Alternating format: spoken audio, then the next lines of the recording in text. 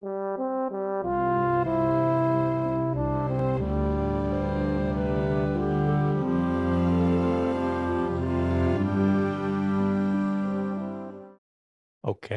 seeing we have a quorum present, uh, combined with our two online participants, board members and those here. Um, start this by calling this meeting to order. Um, this will be the October seventeenth meet, regular meeting of the Development Review Board of Montpelier. And I will start by introducing the board members, starting on my right. Vice Chair. Kevin O'Connell, board member. Meredith Crandall, staff. Rob Goodwin, Chair. And we have Michael Azorczyk Michael Lazorchek, board member. and Jean. Gene Leon, board member. Perfect. Okay. So With that, um, turn over to Meredith for a quick overview of our remote meeting procedures since we have. I'm gonna keep this really brief because the only people we have on remotely right now are board members. Um, so this is mostly for anybody watching via Orca Media. Uh, okay. And I actually put down my little spiel. Give me just a second. Think I'd have it memorized by now. All right, we're gonna wing it. Uh, okay, so for anybody watching tonight's development review board meeting via the Zoom platform, um, you can access tonight's meeting and participate, ask questions, just make comments um, by typing this link here into your web browser. Um, or you can call in at this phone number and plug in this meeting ID. If you're having any issues logging into the meeting, please email me at mcrandall at montpelier vt.org. I will be monitoring my email throughout the meeting. Um, in case anybody needs to get in and can't, I will do my best to assist you. Um, if you do log in remotely, please know that turning on your video is optional. Um, and we will ask that you remain muted unless you're speaking. Um, if somebody does log on remotely, we'll I'll call at a point, some point in a break, um, to just check and see who you are and see what it is you want to talk about, um, so that we can have you speak at the appropriate time.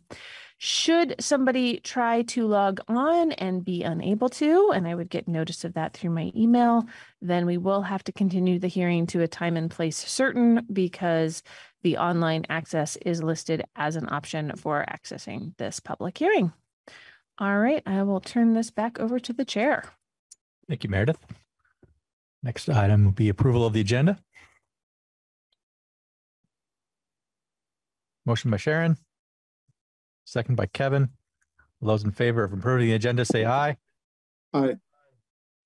Agenda is approved. Uh, thank you all for coming this evening. Uh, we wish everyone, uh, safety out there. COVID levels have come and gone and whatnot. Uh, but, um, we're still here and everyone appears to be healthy. So that's, that's good. Um, we have one application this evening. Um, and so, yeah, John, please come on up. So, uh, but hold on, we got to approve the minutes from October third. Uh, We actually have that on after eight Dairy Lane for tonight. We do. Yep, we There's- bumped it to the end. See, I miss it every time and then you changed it on me. I, I think because I think it was a, we tend to do at the end for design review committee. Ah, I like Um, that, Actually. and so we can keep it this way if you want. Okay.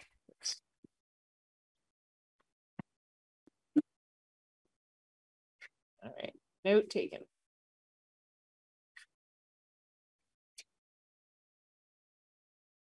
Give your swearing in I do. cheat sheet. Yep. Um, so you know the drill, so we'll swear you in uh, for tonight's testimony. Do you solemnly swear or affirm the testimony you're about to give is the truth, the whole truth, nothing but the truth under the pains and penalties of perjury. I do. Yes. Would you just, would you like to introduce yourself? briefly? Okay, I'm uh, Jack McCullough. I live on Town Street in Montpelier and I am not the applicant. I am uh, the, the applicants, uh, Adam McCullough and Mary McQuiggin are my son and daughter-in-law, and I helped them prepare the application. And uh, because uh, my daughter-in-law is out of town and my son is home with their two daughters. Um, I offered to come and present this uh, application for them. And uh, the proposal is an application to uh, widen their driveway and curb cut. Um, essentially so that uh, they can get in and out of the driveway without having one of them back the car out, you know, depending on who's out and who's in, back the car out uh, with the kids in the house uh, to let the other one in or out. We have, uh, the proposal is to widen the driveway by eight feet. And uh, I was informed by Meredith that the uh, Department of Public Works wanted us to check on how wide the driveway is now, and we checked, uh, we measured it the other day. The driveway is fifteen feet nine inches. So with the addition of eight feet, that would bring it to twenty-three feet nine inches. And uh, according to uh, Corey Line at the Department of Public Works, they would have no objection to the uh, driveway widening as long as it's no more than twenty-four feet. Um, we also have letters from, from two of the neighbors, uh, Mary Ann Sullivan at One Deerfield Drive and, uh, Andy and Joe, Joey at Crane. I'm having a little trouble reading their name, but these are the neighbors directly across the street at, uh, at one, at Nine Dairy Lane. And they indicate that they have, uh, that they support the proposal to widen the driveway at Eight Dairy Lane, and I can provide those letters. Awesome.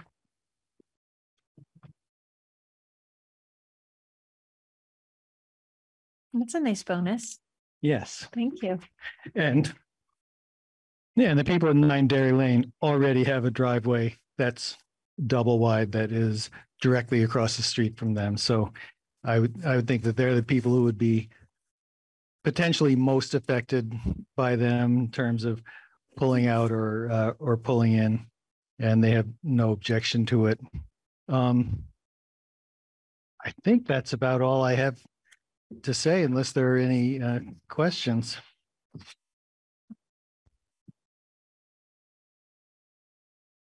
Um, well, it's- that's probably good for now. Meredith, you want to give a summary here of key points? Or Yeah, I mean, I think that, you know, because with the new information, and I actually have a email of that backing up the measurement, but we've also had it mentioned here on the record.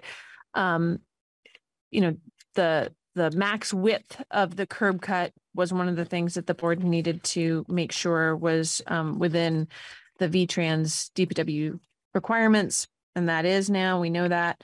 Um, so really, the big thing here is, does the DRB feel like the um driveway being widened so that it is now less than hundred feet from the closest intersection, do they feel like that's an acceptable change? I, you know, personally looking at all the information, both from the neighbors and from Department of Public Works, uh, and the fact that this is a small driveway, that, you know, my suggestion is to lean that way, but it's the board's call. Um, that is the only issue outstanding here, and that's under section thirty ten. realizes the distance between them. They didn't have any problems there. They had no problems there between, between the distance from the intersection to this driveway. I mean, it's, right now, it's, I think it's gonna be maybe four feet less than the minimum distance of hundred feet. And this is a very, this is not a highly traveled road at all. Um, and, you know, it's already, we're not, I didn't flag the distance from like the driveways across the street, anything like that, because those those current nonconformities aren't going to change. That's not an issue. Um, and, and honestly, you know, if I had, if it, this is just one of those things where it just has to come to the board because I don't have the discretion to authorize this. I, I would submit that this is really an incidental change and, um, you know, I'm prepared to make a, a motion to approve, uh, whenever the chair deems it, uh, appropriate. Uh, I will, I just have, I have one, one question, just for clarity here. At what point do we measure from? from the intersection. Has that defined in the regs? It is. So you measure from the inside of the curb to the inside of the curb and with the, Yep. you know, you've got for this, for the intersection, it would be sort of from the, the rounded point if it's not a clear corner, probably. Midpoint of the curve. Yeah. Gotcha. Yeah. All right, perfect. I'm, uh, uh, so we have a motion from, yes, go ahead, Kevin. Oh, yeah. Motion from Kevin? Motion from me. Motion for Kevin to approve the application um as proposed. Um, I don't think there's anything more um to that. Um, so yeah, is- is there a second? I second that motion. Second by Sharon. Um, any discussion on the motion? I Uh, see nothing from our remote board members. seeing none on a remote platform and in the room here. Um, Sharon, how do you vote? Kevin? Yes. Abby? Gene? Yes. Michael? yes, Rob, myself was yes, that is unanimously approved. Uh, Great. Thank you for coming in, Jack. Thanks, everybody. Good to see you all. So the official approval will follow the written decision. It, this isn't a really complicated decision, so it shouldn't take too long. I will aim to get that out as soon as possible. It'll need the chair's signature, but we'll be able to issue the permit the same time we issue the decision. Um, we can, we normally mail that, but we've still been having issues with certified mail, so we'll probably email you and Adam and Mary and suggest that somebody come and pick it up. Okay. Okay. since You submitted these comments, we'll make sure. it's Oh, yeah, Into the record. Yep. Those will Great. get stamped and put in the file. Thanks, folks. Good to see everybody. Good to see you, Jack. See you later. Thank you. Yeah, curious, what, what's uh, happening with uh, certified mail, just not happening? We've, we've had, the last two years, we've had all sorts of issues sending certified mail to either businesses or personal homes where the post office, I don't know if they just make one trip and then don't go again, and then it sits in the post office for sometimes up to a month, and then we finally get it back. So that permit and the blue notice card are just in limbo when it's supposed to have been posted up at the site. So in general, we aren't mailing those automatically anymore, even though we're required to send decisions certified mail under statute. We have to send all decisions out certified mail. So we actually do the certified mail card in our office and make people sign that before we give them the decision. Next item will be to uh approve the minutes for October 3rd. I'll make a motion to approve the min- minutes from October 3rd. Motion by Abby, Second. Second by Jean. And uh, any discussion on the approval of the minutes? Seeing none, um, all those in favor say aye. Aye. Minutes are approved for October 3rd you all. And um, so the next meeting will be the November seventh. November seventh. Yep, three weeks. And um, there is one Oh, application yeah. that um, I think is a um, sketch plan for a PUD, which this board has never actually reviewed a PUD under the new regs. So it's new territory, but it's also sketch plan. So, you know, it's good to have the discussion about how we are going to proceed with reviewing that final application and certainly a good point for feedback. So if you have time to look at that ahead of time, that'd be awesome. Yep, and this will be a PUD that's trying to take advantage of the um density bonuses. Um, and yep, and so this will be the first time with the board interpreting how to actually calculate that because it is not spelled out in the regulations as to how to calculate a fifty percent density bonus.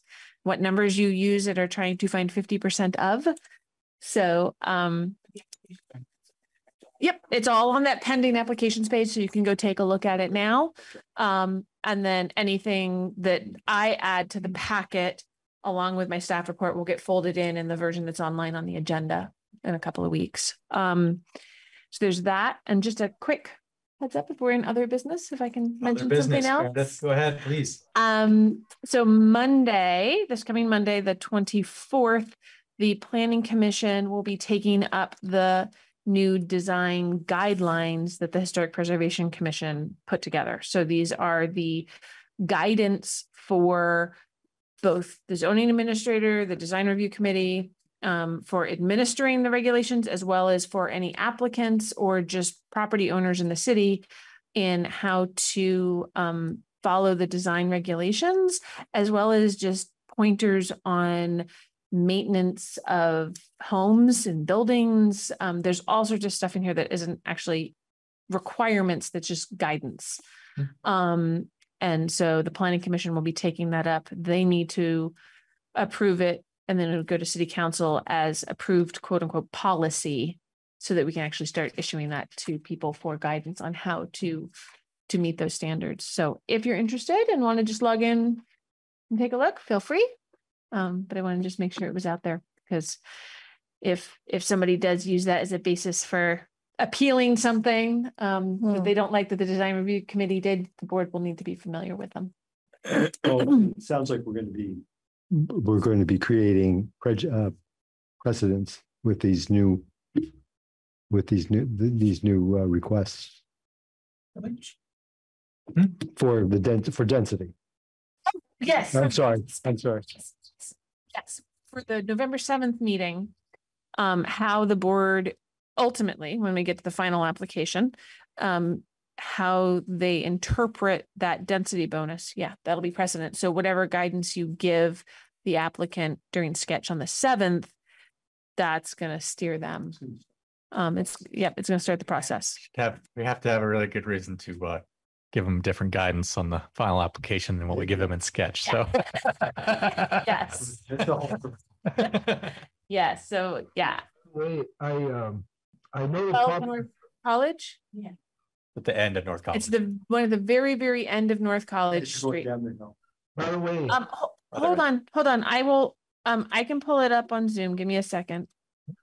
Um, and I can share my What's, screen. what's the address? Twelve North College Street. Oh, okay. It's like with. abutting Maryville. Yeah. Notice Yeah, it. I, wait, Jean, what, what do you want to say? uh, I'm familiar with the property. I could give some insight when that time comes. I, I bid on it actually, and I spent a couple hours, a good amount of time in and out of that building. Um, it- it's quite interesting, and quite large, but so, Okay. yeah. Yeah, so, um, here's Main Street. Here's. Town Street. Um, yep, up here is Murray Hill. And here's North College. It's kind of weird because it's nowhere near College Street. Oh, yeah, sorry. Thank you. Sorry. Uh, I got ahead of myself. Share screen. Um, okay. So up here is Murray Hill, big condo development that's been there forever, right? Here's Main Street, Town Street, Town Hill Road. Mhm. When you go, instead of taking, going down Town Hill Road, you make this left and then North College Street, nowhere near College Street is off of town. And the parcel, I don't have the parcel map, is here at the end. So it's a funky little rectangle shaped like this. I'm not even sure there was a road there. Yeah, Yep. so I was, I was thinking it was in college. Nope, nope. And this is, this is a huge previously barn that parts of it were converted already to dwelling unit. Um, Which is, oh, that is, okay. yeah, this is. Um, Oh, and so the proposal in the sketch, and this is all just a preview, you can go, go look. Um, is to renovate the inside of this into five dwelling units. And it's, I mean, it's like, it's like ten thousand, ten thousand square feet inside something. It's Oh, huge. That's Nine cool. thousand, I think. Yeah, it, That's Yeah. So it's it's going to be a really interesting application. Um, and I look forward to everybody's thoughts on. It looks like the driveway also connects onto Main Street, but maybe you Nope. can't see that. No, that's a different. That's a um, different driveway. That's a different driveway Yeah, that connects here to this. Yeah, Um, but no, this just dead ends right here. yeah. I don't, I don't see how they could put, the driveway is pretty narrow going in and then the, for parking spaces is, is quite limited because I think, So Gene, if- Gene, we should probably leave the specific discussion to the, to the meeting so people don't get confused since we're on the Yeah. on the record here. Yep. Yeah, so you can, but go, feel free to go to the pending applications page. That's linked, if you look in the left-hand column of the agendas page, there's a pending applications for hearings. Um, and the application for this project as submitted is there. You can review it.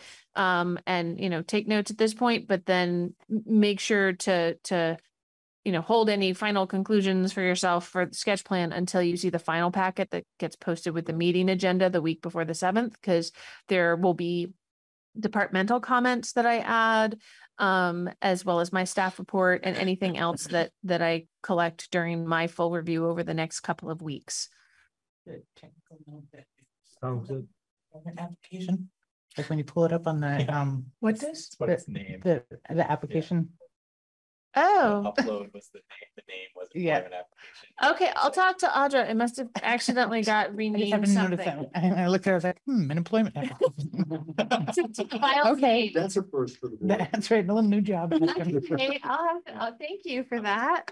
I was Um, already reading it for like ten minutes, when I went to something else and I was looking through my tabs and it said employment application. I'm like, what? What's Open. Um, so I think that's it for this evening. Uh, we have attendance taken, I believe, so um, I will accept a motion for adjournment. Make a motion to adjourn? Second, Alrighty. Motion to adjourn, seconded. All those in favor say aye. aye. Aye. Aye. Alrighty. Have a good night, everyone. Thank you, everybody. Thanks, Thanks. everyone.